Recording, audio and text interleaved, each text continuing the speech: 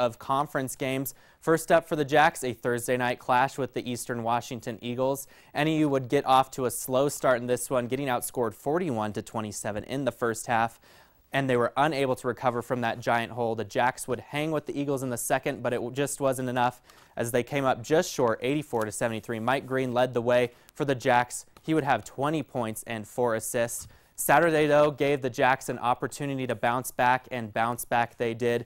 The Jacks had lost seven games in a row heading into the matchup with the Vandals, but a great team effort allowed them to pull this one out. Mike Green and Kris Yanku led the way for the Jacks with 17 points each, while Marcus DeBerry chipped in with 14 and Torry Johnson added 11. This was the Jacks' second win in Big Sky play, and after the game, head coach Jack Murphy talked about the confidence that his team had going into the game against the Vandals that the way we've been going, the way we were competing, that we could play with these guys. And the way that we finished the last game up in Moscow, where we really, you know, pressured them in the last five minutes and really turned the tide in the game, I thought that it gave the guys confidence going